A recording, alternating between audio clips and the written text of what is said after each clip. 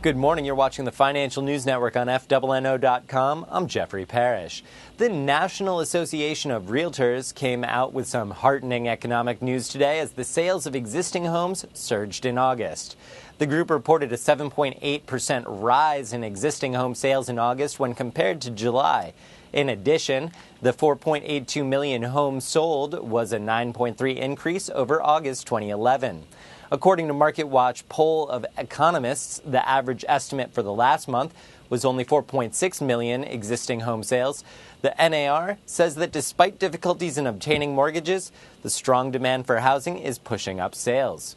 For more information, follow us on Twitter at FNN Online or catch up with us on the web at FNNO.com.